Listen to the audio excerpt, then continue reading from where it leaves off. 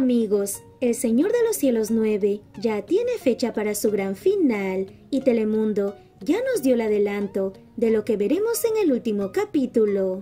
1. Ismael se reconcilia con Aurelio. Luego de haberle pedido a su padre que lo dejara trabajar solo, Ismael se da cuenta que no podrá sobrevivir en el mundo de los narcos sin la ayuda del Señor de los cielos, pues él viene a su rescate cuando está a punto de ser atrapado.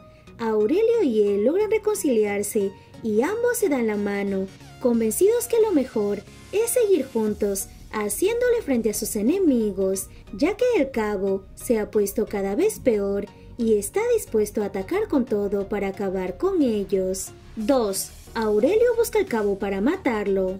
Aurelio planea su ataque contra el cabo, pues descubre que él tiene un plan para liquidarlo.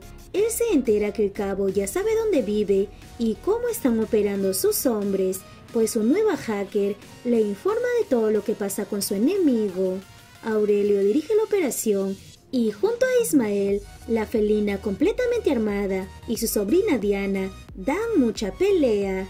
Dalila se interpone en su camino, pues intenta detenerlo y lograr su captura. Aurelio hace explotar todo lo que encuentra a su paso, intentando encontrar la ubicación del colombiano. Las mujeres son sacadas para ser protegidas, pero el cabo descubre dónde están y le pone una trampa a Aurelio. 3. Belén San Román se convierte en la presidenta de México. Belén San Román logra que la mayoría del pueblo mexicano cree en sus falsas promesas y sus deseos de que el país mejore con su gobierno. Ellos votan por ella, eligiéndola como la nueva presidenta. La mujer sonríe satisfecha viendo que logró su máximo sueño. Ella saluda a todos, sin saber lo que le espera. Unos hombres van por su cabeza y su hijastro se da cuenta de todo, así que intenta protegerla. Por su lado, Jaime Rosales reniega demasiado al ver que perdió ante una mujer y que de nada sirvieron las intrigas que armó junto a Aurelio Casillas. Él tiene miedo de ser asesinado por el Señor de los cielos, pues ahora ya no le sirve para nada. Belén San Román es atacada y ella cae completamente herida. 4. La felina ataca a Alfaro. Mientras tanto, la felina va directamente a matar a Alfaro, quien intenta ayudar a Dalila a cazar a los narcotraficantes. Él prepara su plan para atrapar a los jefes casillas, pero vemos que la terrible mujer logra encontrarlo y empieza a disparar, pues solo quiere la muerte del hombre que la quería ver presa y en la ruina. Vemos que logra vengarse de él, pues lo deja a punto de morir.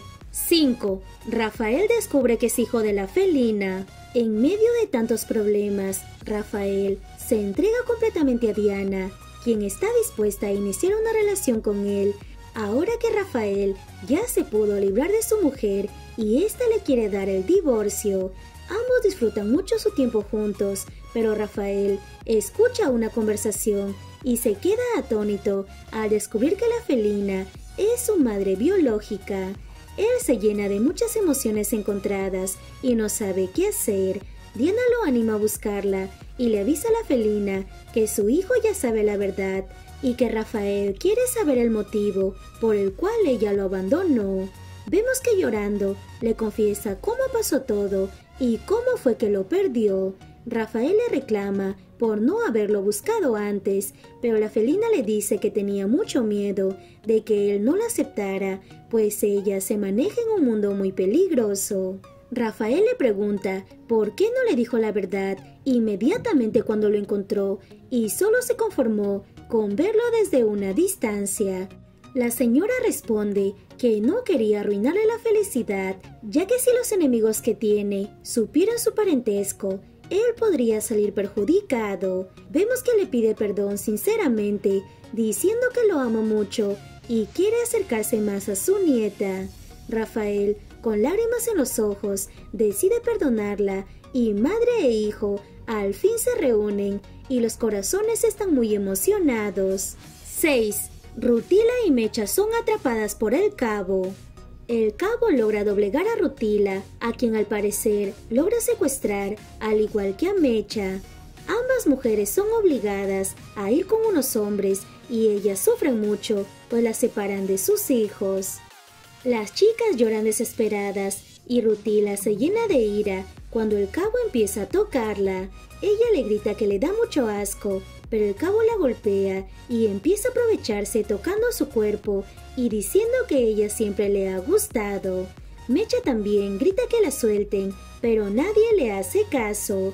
Aurelio se llena de furia, así que decide atacar al cabo y explotar el lugar donde éste vive, pero antes quiere rescatar a Rutila y a Mecha. 7. Diego es asesinado. El cabo decide que es la hora de vengarse de Diego. Aprovechando que tiene Mecha, hace que el chico vaya a buscarlo. El muchacho tiene la intención de rescatar no solo a su madre, sino también a Rutila, él se arma de mucho valor y va solo a encontrarse con el cabo, pero vemos que él se burla del joven y le dice que su final llegó. Diego fracasa en su plan y el cabo lo mata a balazos. Él está satisfecho y dice que ahora solo falta ir por su más acérrimo enemigo, Aurelio Casillas. Mecha se entera de la muerte de su hijo y llora desesperadamente. 8. Aurelio logra matar al cabo. Aurelio arma su último plan y pide a todos que estén concentrados. Él ataca la casa del cabo y empieza a tirar muchas bombas para hacer que éste salga. El cabo hace lo mismo, así que juntos generan muchas muertes, pues hombres de ambos bandos empiezan a morir. En las últimas escenas vemos al Señor de los Cielos persiguiendo a sus enemigos después de haber generado una gran explosión donde se supone estaba el cabo. Aurelio quiere asegurarse que lo ha matado y junto a su hijo y la felina empiezan a buscar a su enemigo. Vemos que lo encuentra listo para morir, pues está desangrando por las heridas que tiene. Aurelio se ríe de él y le dice que le advirtió que con él no se juega y esto es lo que se merece por todas las muertes que ha causado.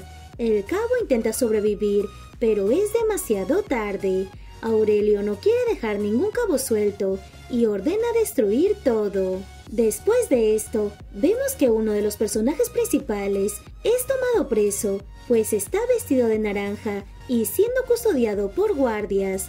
Así que suponemos que alguien de los casillas ha sido capturado. Muchos nos dicen que Aurelio no podrá vivir mucho tiempo más, pues morirá en esta temporada, dejando a Mecha viuda y a sus hijos como herederos del imperio que creó.